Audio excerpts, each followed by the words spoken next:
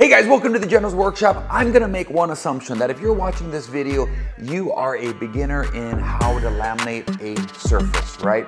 So I am gonna try to gear this video towards you. And here's what that means. I'm gonna try to take each detail that a lot of times are taken for granted by individuals that might kind of really know the process. And let's be honest, it's just that they've had the experience to do it multiple times. So they're past that point of all the beginning questions. But I do remember the first time that I was doing mine and there are so many questions. Like for instance, after you apply the contact cement, did you know that there's a specific time at which you have to press the boards together before you have to actually reactivate the coating? Most people don't even talk about that. So we're gonna go over that. We're gonna go over a variety of different details. That's gonna be super important for you to know. So with that being said, let's build the tabletop. Although making the tabletop is not necessarily within the scope of this particular video, there are a few steps that I think it's absolutely imperative that we do and do well. One, whatever you choose to do with the edge banding, we have to make sure that it is flush with the top, followed by brushing it off and getting it as clean as possible. That's including using a damp rag just to make sure that it's done. We just gotta give a little bit of time in between and then guess what? We're ready to go. So let's go ahead and go over some of the basic tools that you are going to be needing for this. Uh, there are a couple of ones that rank in high priority, if you will. For me, it is gonna be this right here. And this is an extendable heavy duty floor and wall roller. So there's a, multitude of different uh, things you can use this for. Uh, this is uh, seven and a half inches wide and this is 17 inches from top to bottom. However, if I rotate this, I can extend that out, right? And then I can make it actually go up to roughly 27 inches uh, long. And then I just tighten that back down. And again, that's way if you're using it on the floor for a different purpose or the wall, it gives you a little bit more of a, a handle and then rotate in, pulls it back, and I can use it. Again, that just allows me to get a heavier distribution of the weight on this uh, because the reality is later on, you do have to apply a certain amount of force, which we're gonna cover later, a certain amount of force for the bonding to happen at efficiency, if you will. Now, also, there is a scoring knife, and this is something that you can honestly get for about $7.99. Now, there's a lot of people that will say that you can use a carpenter knife, an X-Acto knife, right? And that is true. Here's what I found. This is a very rigid blade. You want to have something that doesn't have a lot of deflection or when you pull on a blade that it's going to bend a lot. Why? It's just going to allow you to prevent it from walking, right? Not 100% prevent it. There's always still a possibility, even with this, if I pull it out. Uh, however, I believe with this, it becomes a lot less likely that you're going to do that. And this is nothing more than a rigid blade with a, a blunt end and that works its way down to a point, if you will. Okay, so there's a scoring knife, and of course, we're gonna have um, our roller, and we're gonna be using uh, this, and this is a high density foam. And some of you might be wondering, well, couldn't I just use a roller nap? Um, I've already got some 3 8 inch roller naps or, or what have you, right? More traditional to, to painting. Um, and the reason why, if well, if you're going to do that, if you have to, and that's what you choose to do, just try to use the non-shedding kind, right? Because all those bristles that are in those can actually dislodge as you're applying it, and then that, of course, gets stuck in between the two surfaces. Now, some of you might be thinking, well, that will just get embedded in the, uh, the layer of the contact cement. And to a large degree, that is true, and there's a high probability that you wouldn't even notice. But if you're gonna be doing this, let's try to do it right in a sense that you're gonna minimize the amount of debris, whether that's sawdust floating in the air, or whether or not that's uh, bristles, or if you will, hairs from your actual um, rollers. Uh, we're gonna try to do that. So the other thing, I, I like to use these, these are blunted. So these are almost like a notched squeegee, which that could work too. You just need a more of a rigid notch squeegee. Um, and again, they're blunted so that once you uh, apply your glue, you can utilize this to spread it out. Because if you've ever uh, applied the glue, you know that it's like trying to spread honey. It's very thick and it can be difficult to do. This is simply an option. You don't have to do that. In fact, most of the time you see people, they'll put their glue in here, they'll get it on their roller. You're just not gonna be able to, be able to get a lot of um, you're not going to be able to get a lot of material down quickly with a foam roller because one, they just don't hold a lot of material because they're foam. That's one of the benefits of having more of the, uh, the other rollers that I was describing to you because they hold a lot of material um, at once. Uh, now, I also want to point out, notice that there's a red, there's a green, and there's a few more in between. I'm going to be using the red, so most of the details we'll be going over has to do with the red. You might be wondering, what is the difference between the red and the green when it comes to the contact cement? And the green is a newer version where it's a uh, lower odor, if you will. It's a lower odor formula, right? The VOC rating is going to be less on this. It is why on the red, they strongly, strongly advise you to do it in a well-ventilated area. So for me, in my shop, I'm going to open up the garage doors and uh, it'll be well ventilated. The other thing to keep in mind is these things are highly flammable. So they recommend that you don't do it in the garage where you have the pilot light to your, um, you don't have the pilot light to your water heater or a stove or something of that nature that's going that could ignite. I mean, if you guys, when you guys look at this and you see, when you look at this, can you see that there? All the different warnings on making sure I mean, they are telling you turn off all of your gas valves if you have to do it within there because the vapors can travel along the floor to any source of heat, spark, or flame in the next room or in the basement if that's where you're doing it. And again, all of this, danger, flammable liquid and vapors, harmful, harmful. So really take that seriously as far as wearing one, a respirator for yourself, as well as doing this in a well ventilated area. You probably won't see it, but I've got a, a massive garage door on that side that's going to be up while we're actually doing this, okay? So just make sure you take those uh, very seriously, okay? So with that being said, this is how we're going to get started. These are the tools that you need. Um, I wanted to talk just real briefly about choosing a substrate. Um, what you notice is that mine is a little bit thicker than your average three quarter inch piece, and that's on purpose, right? One question I would ask you is if you're doing this for your kitchen, then you can get away with a, a thinner board, if you will, if you're doing a countertop. Uh, but if you're doing it for like a shop, then a top like this, are you going to be utilizing T-tracks? Are you going to be embedding in any of the tracks into this? Then you're going to want to consider going um, a thicker. Now, because I plan to do that on that table as well as this table, what I have chosen to do is to do a three quarter inch uh, piece of maple veneer plywood. On top of that is a three quarter inch piece of MDF that have been laminated, if you will, glued together. So formulating an inch and a half thick, which is why this walnut piece that I glued onto it with no fasteners other than the glue itself, meaning no metal fasteners. I've now got an inch and a half why? Because when I do my groove, my T-track groove, and it goes down into it, if you had a single piece of wood, like just that MDF, well, you're taking away half, if you will, a good portion of its thickness, which is gonna create massive weak points.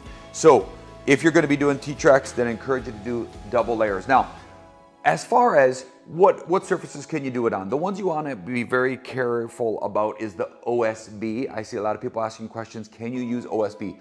And it's a common question. Why? Because it's cheaper than any of the ones we're about to recommend. However, there's just a tremendous amount of downfalls to it. When you look at oriented uh, strand board or OSB, it's got these, it's not smooth. And why that plays a role is as this laminate, you can imagine it goes mountain peak, mountain peak, but in between's a valley. And this is on top of that, and I put a lot of pin force if you will, or force specifically down on that area where there's the valley, I'm gonna end up breaking through my laminate. So my laminate, my Formica laminate needs a smooth surface. So OSB, unfortunately, it's out of question. Don't, don't, don't do it.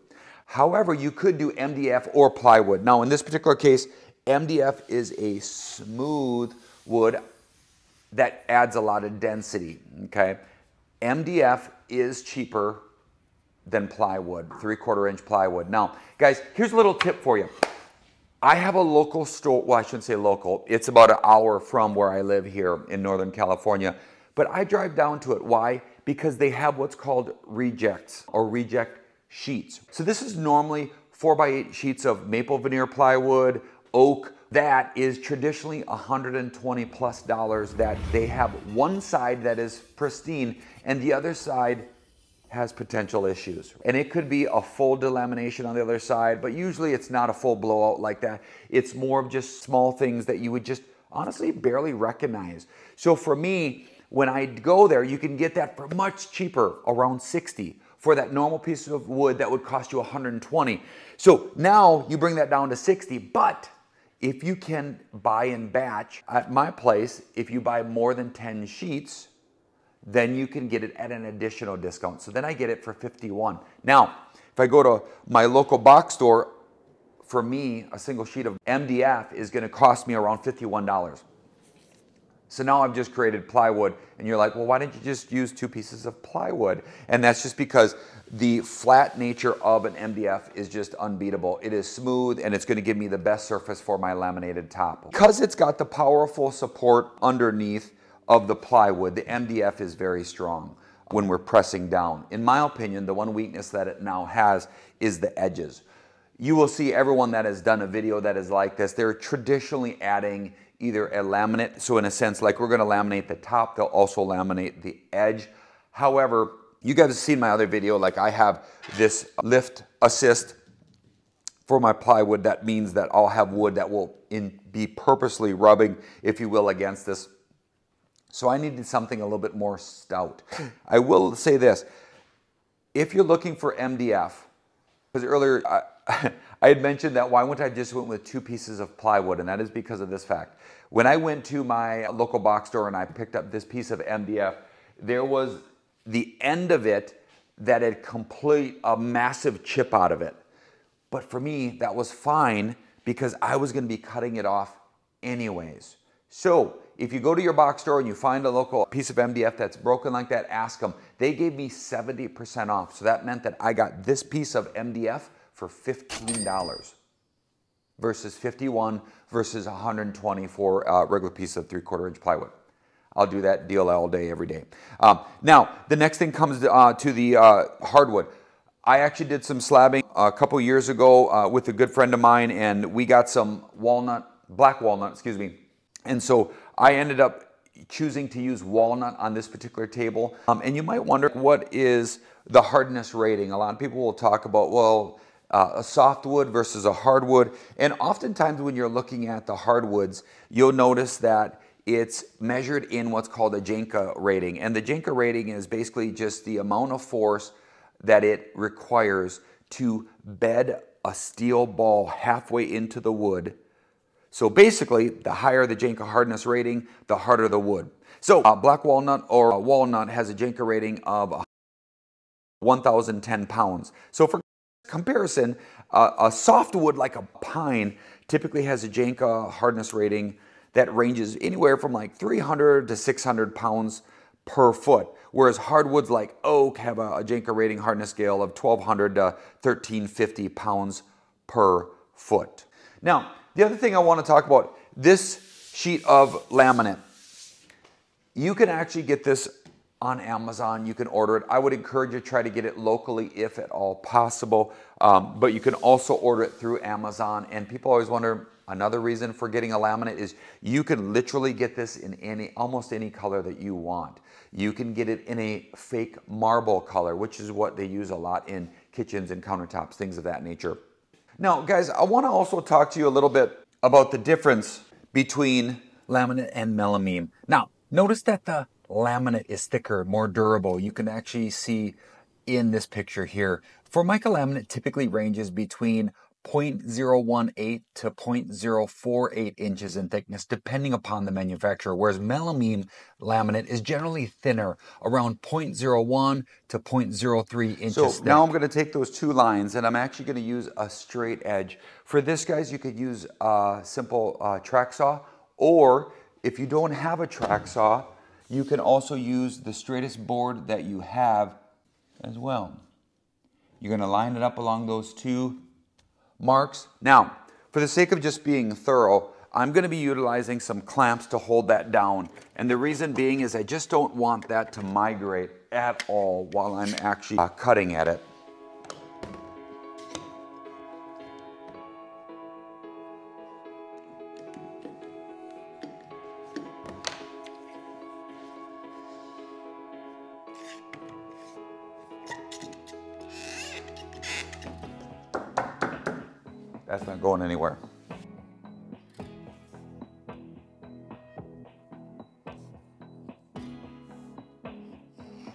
Now as I'm doing this, I'm gonna have a slight inward angle towards the track saw. And I'm just scoring the surface.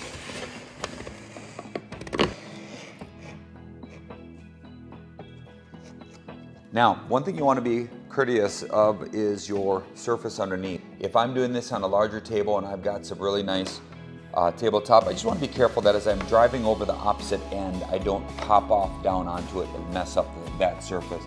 So again, now I'm going to come and I'm to do it again. You're not exactly trying to cut all the way through it, but you're just trying to give it a scoring. And it's okay for me to ride this along my track saw it's flat on this side, so it shouldn't really be marking it too much.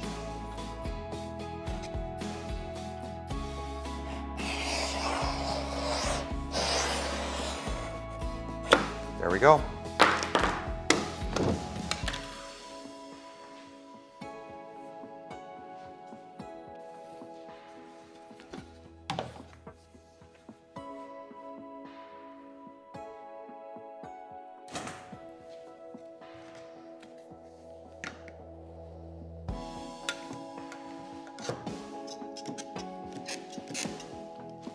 So that's created a weak point. Now what I'm gonna do, and this is just the way that I prefer to do it, is I'm gonna support that side. I'm going just on the side of that line that I just created, just to give it some support as I'm now trying to try to bring that up.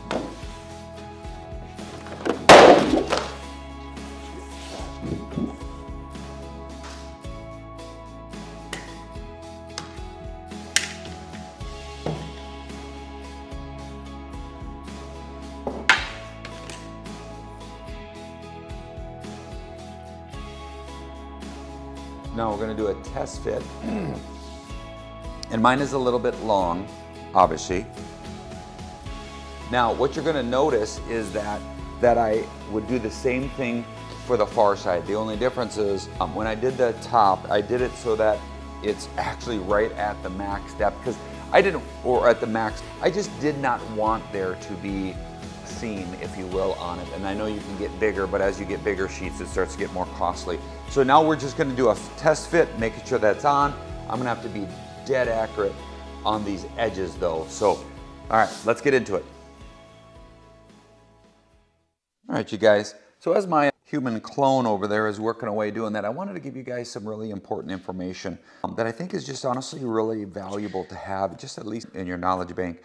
Um, one, I would say that the glue that we're using, so this contact cement is a polychloroprene based adhesive uh, that is going to go down that we're going to be using. And remember that I said that there is a lot of fumes with it. So make sure that you're wearing that mask. Truth be told, I'm filming this part before I'm doing that part. So I'm okay not having a mask. You just keep working.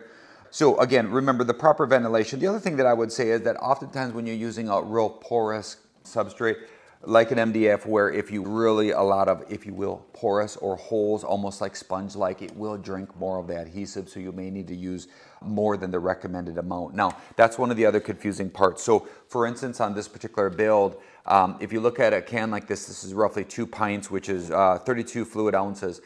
So this can will actually give us That way it gives you a reference so you know that, okay, I did that about right. I want to just give you kind of that little bit of a, um, of a background. Now, the other thing I think is super important to know is when you're done with this, you are supposed to allow the project to have 72 hours of no sun whatsoever or no temperatures over 150 degrees. So all my fans back there in Minnesota, you guys are fine. But here in Northern California, I've got about a week before that's going to be 150 by 9 a.m. All right, but no, seriously. So keep it out of the sun for 72 hours. Also, I think it's important to note when we're applying pressure, you need 25 pounds um, per square inch, if you will, of force down, pressing down on this when you then go to bond it. The other thing I think is really interesting is we talk about after we get done applying this, we'll allow it to kind of tack over right? What does tack mean? That means when you run your hand over the adhesive, it's no longer wet, if you will. It might have a very mild stickiness. But for some people, I've heard them say, well, I'm just going to let it sit overnight so I can guarantee it's going to be fine. But the problem is you've got a recall window of roughly two hours. Now, when I say recall window, here's what I mean by that. Meaning you have about two hours, depending upon temperature and humidity, to bond the two pieces. So you couldn't just leave it overnight. If you do, for whatever reason, you get them both coated, you get a call, hey, guess what, your dog's in labor and you gotta take him in. Well, then you need to let that go.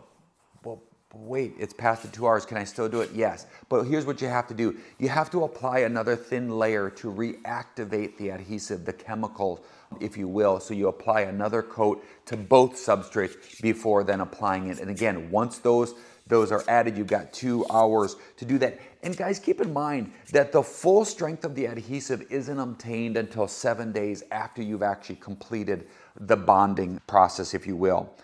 All right, we'll let him finish the adhesive. Hey, great job.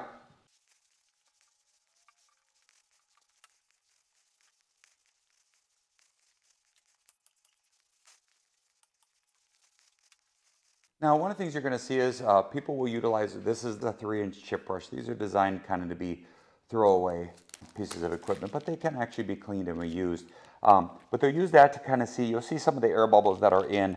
Um, I'm going to take it down one swipe just so that you can see how it knocks down the air bubbles, if you will, because as we roll back and forth, we're actually agitating the chemical, and that's actually introducing oxygen or air, if you will, and that's actually creating these bubbles. So I'm going to go ahead and just do a faint little kind of a final back roll, so to speak, a final brush roll. And you can see the difference between where I started and then where I ended. So I'm going to go ahead and just kind of do that all the way across. You guys are all wondering how far can I stretch? That's how far.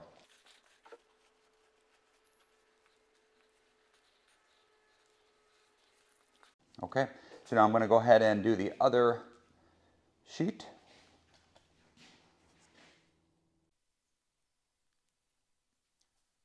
Okay guys, so just as a reminder, um, I'm going to explain a couple things on the second piece that you saw me do on that first one.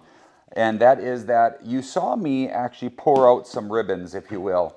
Um, I'm going to actually pour out some of my product. Now, this stuff is, like I said, it is so incredibly thick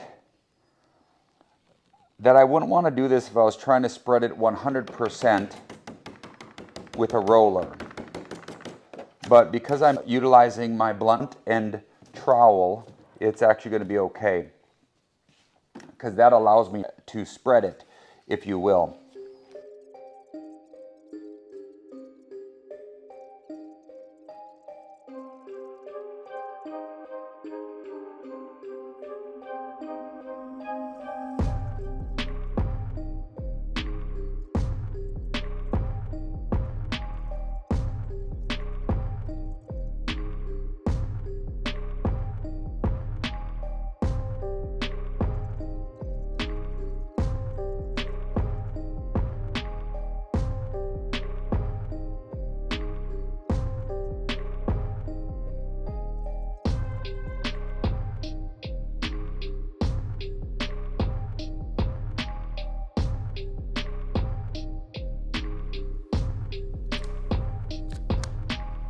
All right, you guys. So when it comes to this surface, I want you guys to take a look at, I want you to take a look at this, okay? As I'm looking, if you look here, you can tell a couple light spots right there. Um, and we can just kind of sit back and observe there are darker spots and there are lighter spots. Now, the darker spots, honestly, at this point, it's not completely dry yet. And that is because whenever you try to judge wet paint, it's always gonna look uneven. So you can't do that. You gotta imagine those darker spots like right here, here, here, right? Those are in a sense still drying. That's why it's like that. As soon as that's fully tacked over, and again, tacking over, right? I can touch this and it's almost not sticky. Now, if I were to do this, right, then that's still sticky. That's still drying. Now, if I wanted to at this point, I could actually come and add more sauce to it, if you will, or more adhesive, but I'm gonna wait just a little bit and I'm gonna add one more uh, light coat to this one. Uh, the Formica top I'm totally fine with. Once you buy an adhesive like that, once you open it, you have roughly 12 months worth of storage time as long as that's kept in a dark, kind of a cooler climate, which for me, it's climate controlled, so it's always in room temperature and it's in my cabinet uh, slash cupboard, so to speak, usually. And so I bought mine uh, just over a year ago. So I'm right at that cusp which is why I'm starting to get just a little bit of these little yellow, but I'm gonna be covering those with this next one. Those shouldn't be a problem. If you've got any bigger debris, you gotta make sure you get that stuff taken care of, okay? So let's go ahead and get this down. So, I wanna chat with you guys ever so briefly regarding my coverage ratios that I just showed you. Um, I remember earlier I said that it would take about 380 and if you looked at what I actually had left, so I used that previous can for some other projects.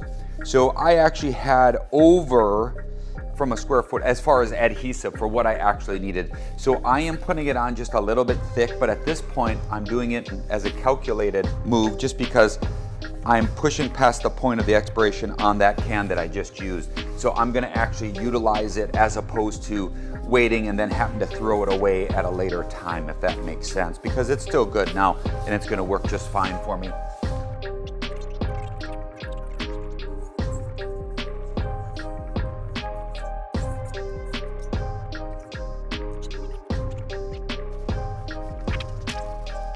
Always make sure that your edges are done very, very well. I mean, you want to make sure everything's done well, if you will. But if you had to make sacrifices, I want to say that your edges would not be your first choice. How's that? Okay, now let's just let it sit. All right, 15, 20 minutes, here we come. So, next time I see you, these will be dry. We'll start putting down laminate with the dolls.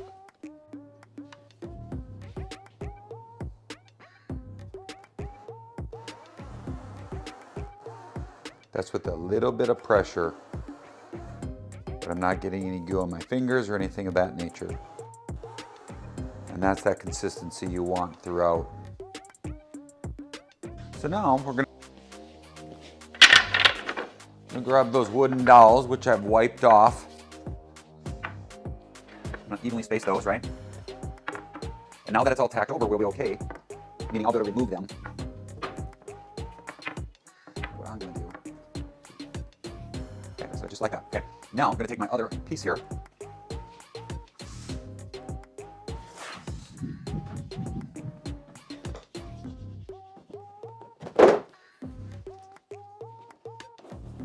So I'm gonna line this side up, make sure it's flush over, and also this side up. Now I need to assure, I'm gonna be pressing in the middle, right? This is just at 78, so.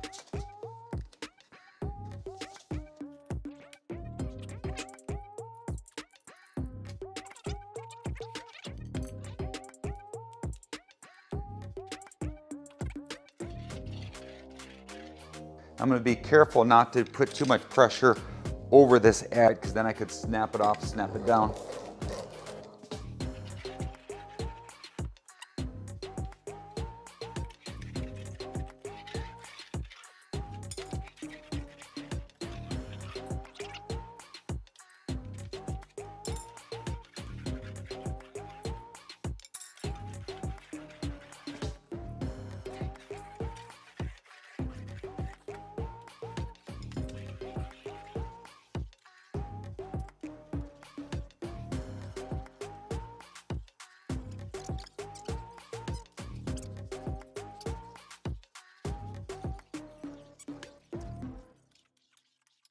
So what I'm doing now is I'm actually just gonna grab, this is a flush trim bit that we're gonna be using just to flush it up any of the excess, and then I'll come back with a chamfer after that.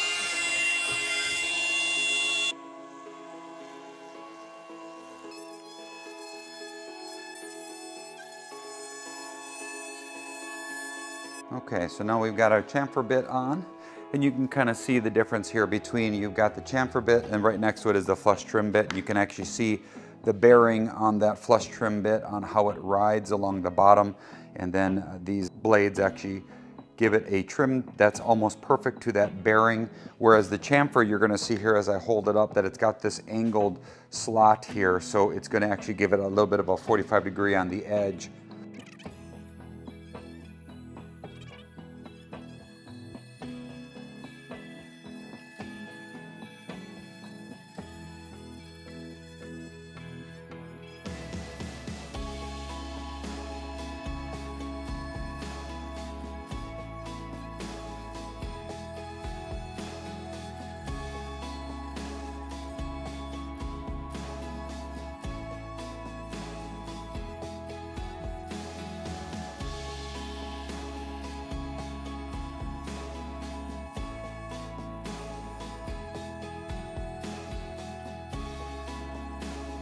Of the things that you guys, one of the things that you'll notice is if you look back at your line and there's a little bit of jaggedness, that can mean a couple of different things. It can mean that you're trying to advance too quickly with your router. So you wanna go back over those. That's why you saw me go around a couple of times. Uh, you always wanna take off minimal amount and then work your way up to it if you can. But again, there's a few spots along here, like especially right here where it was kind of jagged, almost like your bearing has like glue on it or something like that that causes it to kind of step up and out every time it turns. Or it almost feels like you're pushing and you go over, start going over speed dumps, like boop, boop, boop, boop, right? Again, you're, you're trying to advance your router too quickly and you need to kind of back off so that it has a slower time. If that does happen, it's okay, just keep going. And you know what I mean? You can do three or four rounds along the, around this if you wanted, just to make sure that your line is perfect, just kind of like this. Let me kind of show you what I'm talking about.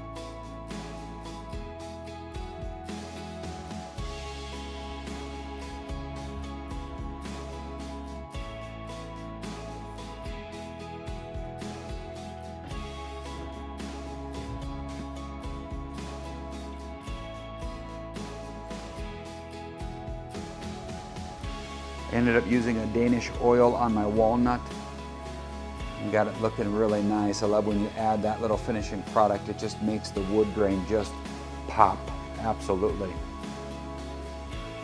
So if you do happen to do a spill while it's wet, you guys will want to use a mineral spirits okay, while it's wet. Again, while it's wet is the key.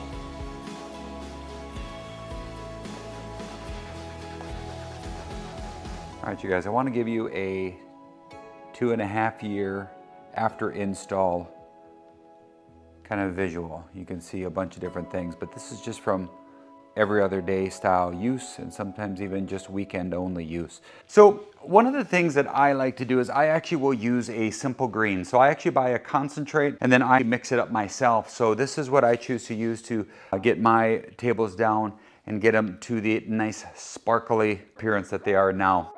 All right, one quick pro tip for those that are wanting to have a more organized shop. One of the things that I've done, and you've seen in my shop, is you see these QR codes in the back. So this week I was at the local box store and I, I, did, I had to grab some supplies, but I did not remember if I had my foam kit or if I had a six inch roller with a dense foam for spreading the glue. So I took out my app, I looked up, I searched that term, and sure enough, I had a kit already ready to go in my paint supply box here. I was just able to pull it out and grab it, but had I not had that app and that system, I would never know. So if you're looking at increasing the overall organization of your shop, you gotta give this a try. I did a video on it. It's actually my best performing video, believe it or not. So check it out if you haven't already. And don't forget, if you can, I would appreciate if you'd consider liking and subscribing to the channel. We got a lot more videos coming, but more importantly, why haven't you? Were friends. I'll be over here making my next video, yo. Shoot dang, what a beautiful day. 80 degrees, go get some.